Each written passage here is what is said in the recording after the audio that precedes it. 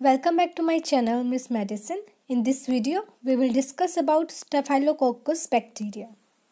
If you are new here, subscribe to the channel. Follow us on Instagram and Facebook.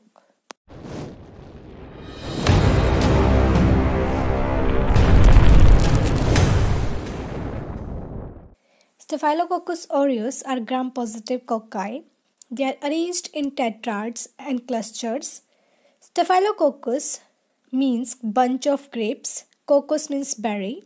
It means bacteria occurring in grape-like clusters or berry. So next is the classification of Staphylococcus aureus. On the basis of pathogenicity, they are pathogenic and non-pathogenic. In pathogenic, it includes Staphylococcus aureus. Non-pathogenic, it includes Staphylococcus epidermidis, Staphylococcus saprophyticus, Staphylococcus albus, Staphylococcus citreus, Staphylococcus hominis, etc. And based on pigment production, Staphylococcus aureus have golden yellow pigment colonies, Staphylococcus albus have white colonies and Staphylococcus citreus have lemon yellow colonies. And another classification which is based on coagulase production, coagulase positive which is Staphylococcus aureus and coagulase negative are Staphylococcus epidermidis and Staphylococcus saprophyticus. So Staphylococcus aureus natural habitat are nostrils and skin. Its morphology they are gram-positive cocci its diameter is 0.5 to 1.5 micrometer. It occurs in groups, also single or in pairs. They form irregular grape-like clusters. They are non-motile, non-sporing and few strains are capsulated. Next is culture. These are aerobes and facultative anaerobes. Staphylococcus aureus optimal temperature for growth is 37 degrees Celsius and pH for growth is 7.5. They grow on nutrient agar. It shows golden yellow and opaque colonies with smooth glistening surface 1 to 2 millimeter in diameter. On blood agar, golden yellow colonies surrounded by a clear zone of hemolysis which is beta hemolysis. When incubated in sheep or rabbit, blood agar in atmosphere of 20% of carbon dioxide and on MacConkey agar, it shows smaller colonies than those on nutrient agar and are pink colored due to lactose fermentation. And it also shows on mannitol salt agar, Staph aureus ferments mannitol and appear as yellow colonies. MSA is a useful selective medium for recovering S. aureus from fecal specimens when investigating food poisoning. Biochemical properties of Staph aureus. These are catalase positive, oxidase negative, ferment glucose, lactose, maltose, sucrose and mannitol with production of acid but no gas and mannitol fermentation carries diagnosis significance. Staph aureus are indole test negative, MR test positive, VP test positive, urease test positive, hydrolyzed gelatin. It reduces nitrate to nitrite. Phosphatase positive, DNase test positive and coagulase test positive. In slide test, it shows clumping factor and in tube test, free coagulase in catalase. That's why it shows catalase positive test. Next are the virulence factors. These are cell wall associated structures, extracellular toxins and coagulase. Cell wall associated structures. These are divided into capsule, peptidoglycan, protein A, clumping factor, bound coagulase. Capsule adhere to host cell and it resists phagocytosis. Peptidoglycan inhibits inflammatory response. Protein A binds to Fc moiety of immunoglobulin G, exerting antiopsonin and therefore its strongly antiphagocytic effect and clumping factor cause organism to clump in presence of plasma.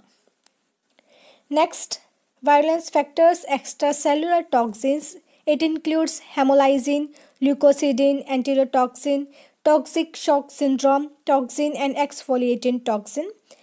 In hemolysin, they are divided into alpha, beta, gamma and delta. Hemolytic, thermonecrotic and leukocidal effect. Leukocidin, which is Panton-Valentine factor, it kills WBCs by producing holes in the cell membrane. Enterotoxin acts on ANS to cause illness and toxin shock syndrome toxin. It produces fever, skin, rashes, diarrhea, conjunctivitis and death to shock.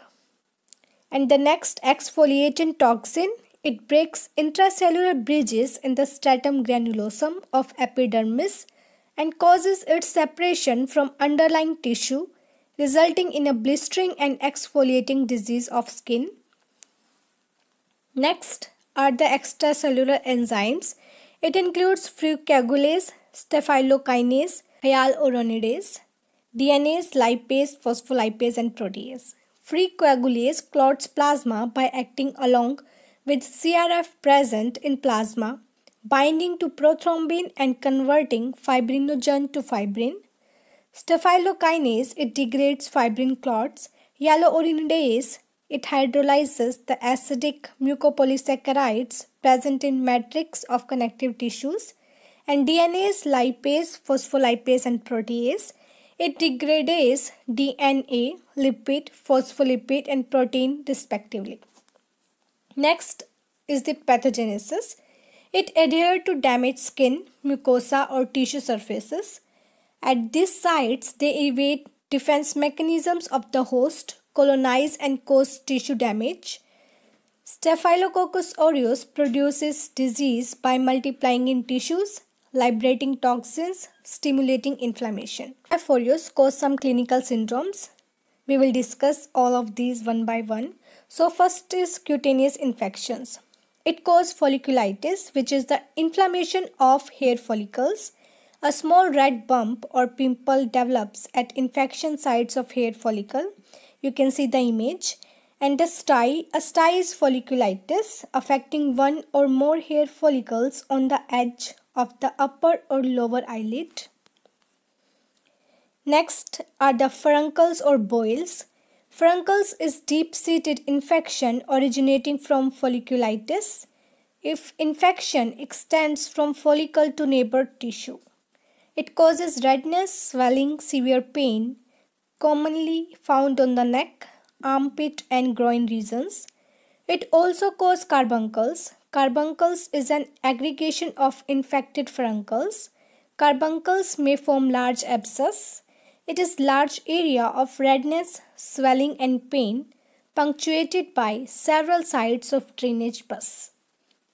Staph aureus also cause impetigo. It is superficial skin infection which common in children usually produces blisters or sores on the face, neck, hands and diaper area. It is characterized by watery bristles which becomes pustules and then honey-colored crust. Impetigo with vesicles, pustules and sharply demarcated regions of honey-colored crusts. You can see the image. Next are the deep infections. It includes osteomyelitis, which is inflammation of bone. Bacteria can get to the bone by bloodstream or following an injury. Clinical features of osteomyelitis are pain, swelling, deformity, defective healing, and in some cases, pus also. We can diagnose it by X-ray, MRI, and bone aspirates. Next infection is periostitis, which is inflammation of periosteum of bone. Clinical features are fever, localized pain, and leukocytosis. We can diagnose it by needle aspiration of subperiosteal fluid. Next infection is endocarditis, which is an inflammation of the inner layer of the heart, the endocardium. Endocarditis occurs when bacteria enter bloodstream, travel to the heart and lodge on abnormal heart walls or damaged tissue. You can see the image. Staph aureus also causes exfoliative disease. Exfoliate means scaling off tissues in layers, which is also known as SSSS, Staphylococcal skin scalded syndrome. Previous it is also called dermatitis exfoliativa, pemphigus neonatorum, and Ritter's disease. Epidermal toxin produced by Staphylococcus aureus at skin and it is carried by bloodstream to epidermis. where it causes a split in a cellular layer. This toxin separates outer layer of dermis from underlying tissue. Next is toxic shock syndrome. It caused when toxic shock syndrome toxin liberated by Staphylococcus aureus which enter into bloodstream and it causes symptoms like high fever, headache, vomiting, diarrhea, conjunctival reddening, decrease in blood pressure, skin rashes and kidney failure. Staphylococcus aureus also cause food poisoning. When consuming food in which S. aureus, Staph aureus, has multiplied and formed endotoxin, it causes symptoms like nausea, vomiting, severe abdominal cramp, diarrhea, sweating, headache, and its incubation period is less than 6 hours. Next is mode of transmission. It can be transmitted by airborne droplets, cross infection, person with lesions, and asymptomatic carrier. How you can prevent it by washing your hands, keep wounds covered, avoid sharing personal care items, cooking and storing food properly, and reduce tampon risk. Menstrual tampons can cause toxic shock syndrome. How you can treat Staph aureus infection by antibiotic therapy, wound drainage, removal of dead tissue and device removal. Next are the lab diagnosis. We can diagnose by hematological investigation by checking total leukocyte count, differential leukocyte count, bacterial investigations by the help of specimens like pus, nasal swab, food, blood or sputum, culture and isolation a tube coagulase test. Next is MRSA which is methicillin resistant Staph aureus. Most strains of Staph aureus, even those acquired in community, are penicillin resistant. Resistance is attributable to beta lactamase production due to genes located on extrachromosomal plasmids.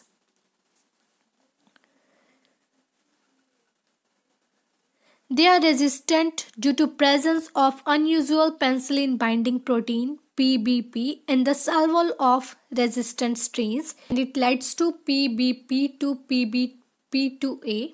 Next are the CoNS. These are coagulase negative staphylococcus bacteria. It includes staphylococcus epidermidis. It causes infection of native heart valves and intravascular prothesis. Native means natural, natural heart valves. And staphylococcus saprophyticus. It causes urinary tract infections mainly in sexually active women.